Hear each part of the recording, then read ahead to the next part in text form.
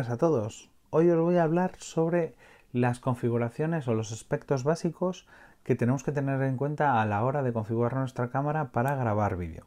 ¿Qué opciones tenemos y para qué usamos unas u otras? Vamos a tocar cuatro factores básicos. El primero, el formato. Si voy a grabar en MOV o en MP4. Segundo, vamos a tocar eh, la parte de eh, los fotogramas por segundo. Tercero, es la resolución. ¿En qué, ¿En qué tipo de resolución voy a estar trabajando? Si es en HD, en Full HD, en 4K, ¿vale? Y por último, eh, ¿a qué velocidad de obturación tengo que, poner, tengo que poner la cámara? Ok, ¿en qué grabo? ¿En MOV o en MP4?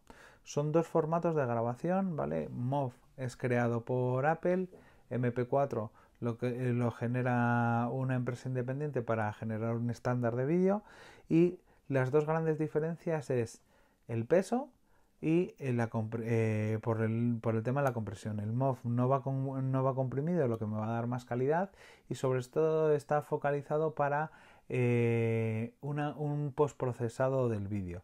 Si yo luego voy a hacer una edición del vídeo y lo que quiero es que el vídeo le pueda sacar la mayor calidad, poderle meterle eh, cambios de color, afectarle al sonido, que tiene mayor información de sonido, voy a grabar en MOV.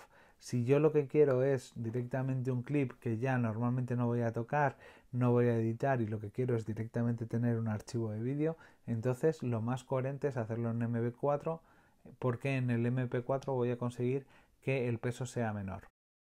Segunda parte, el tema de los fotogramas por segundo.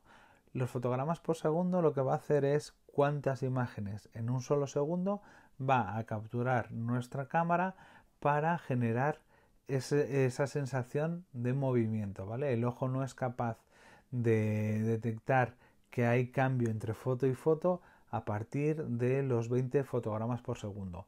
Por eso en cine se graba normalmente en 24, en televisión en, Europa eh, trabajamos los 25 fotogramas, en Estados Unidos son los 30 y luego hay formatos ya de lo que se llaman alta velocidad que serían 50, 60, 120 y hasta hay cámaras que graban en 240. Vale. Lo habitual es que trabajemos en 25 o en 30, ¿vale? Cualquiera de los dos nos va a valer.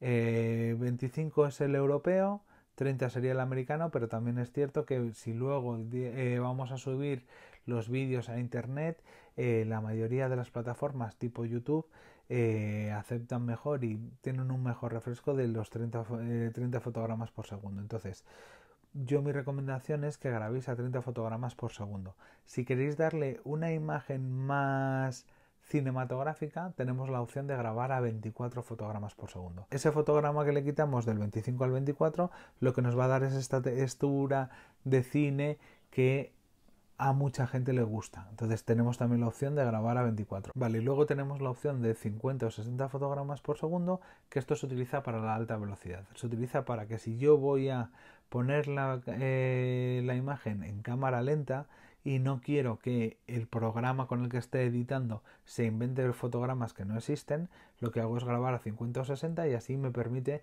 ralentizar la imagen con una calidad que con el 50 o con el 30 podrían darse más efectos de salto y que la imagen no quedará tan fluida.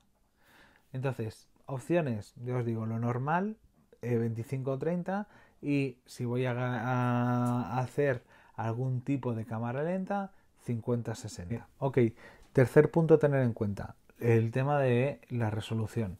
Tenemos por un lado el HD que es 720 x 1080, ¿vale? Que este es el formato que habitualmente había en las televisiones. Ahora ya con las nuevas va cambiando. Eh, de ahí pasamos al Full HD, que es el estándar que más se utiliza, que es 1080 x 1980, que esto nos va a dar una resolución muy buena para la televisión, para cualquier tipo de pantalla de ordenador y para también eh, a la hora de streaming o a la hora de subir vídeos a redes sociales la calidad es muy buena y siempre se va por comprimir bien.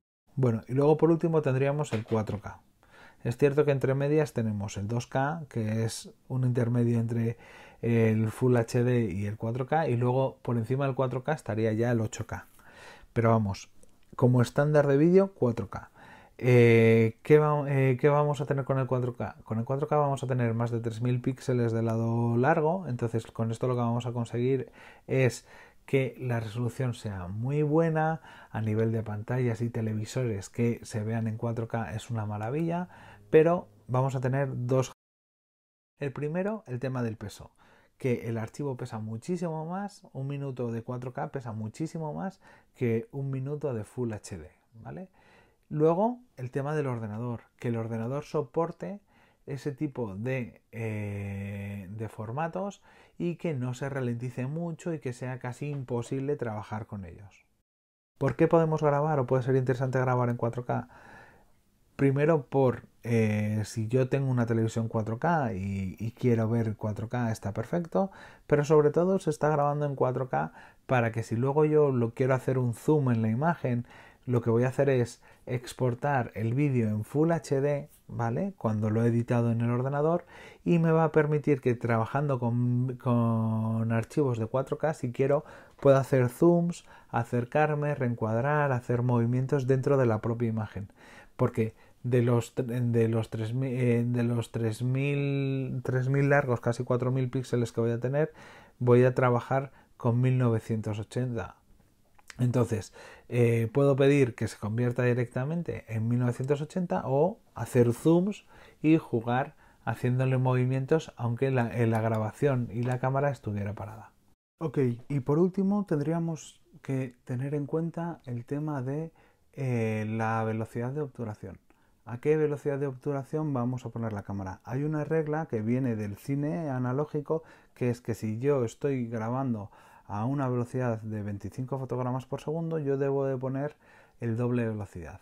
¿Vale? Entonces, si yo voy a disparar a un 25 o a un 30 avo, lo recomendable es ponerlo entre 1 partido de 50 y 1 partido de 60.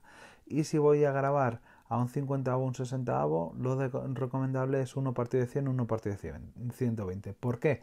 Porque si yo estoy eh, trabajando eh, y pidiendo que, el obturador funcione y que vaya guardando las imágenes eh, utilizando el tiempo completo que necesita de cada exposición, va a hacer que primero se caliente más y que pueda generar errores a la hora de guardado, además de estar forzando a la hora de grabar. Teniendo en cuenta el tema de la velocidad, podrías plantearte, oye, pero entonces si yo estoy un día soleado y demás, me has dicho que el doble, puedo ponerle en vez del doble, eh, pues en vez de ponerle uno partido de 50, uno partido de 60, le voy a poner uno partido de 100, uno partido de 200, uno partido de 500, que encima va a congelar la imagen y así ni estabilizador ni leches. Si yo en vez de poner 1 partido de 50 o 1 partido de 60 en el caso de 25 fotogramas por segundo o 30 fotogramas por segundo, el problema va a ser que eh, voy a hacer que cada imagen sea mucho más fija, mucho más estática y a la hora de verse en vídeo va a perder esa fluidez que tenemos con velocidades más lentas. Entonces no hay que subir de el doble de los fotogramas por segundo que vamos a poner para grabar. Es por esto que cualquier persona que grabe vídeo y sobre todo en exteriores siempre va a llevar filtros de densidad neutra, que lo que nos va a permitir es poder grabar a velocidades lentas, uno partido de 50, uno partido de 60, aún habiendo luz de sol, porque lo que vamos a hacer es poner eh, filtros que nos van a bajar la luz que va a pasar al objetivo. Hay filtros de densidad neutra que quitan desde un paso hasta 16 pasos. Bueno, pues espero que esto sirva para poder tomar decisiones a la hora de qué pongo y qué no pongo en mi cámara para grabar. Y nada, muchísimas gracias. Cualquier comentario ya sabéis y nos vemos en el próximo vídeo. ¡Chao!